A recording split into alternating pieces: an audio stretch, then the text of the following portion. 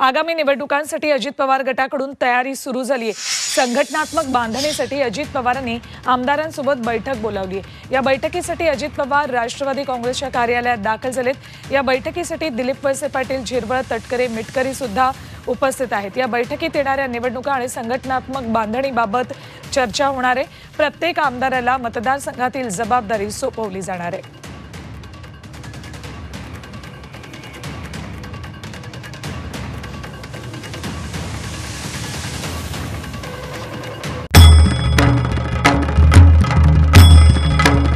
भंडाऱ्याची उधळण. म्हणजे?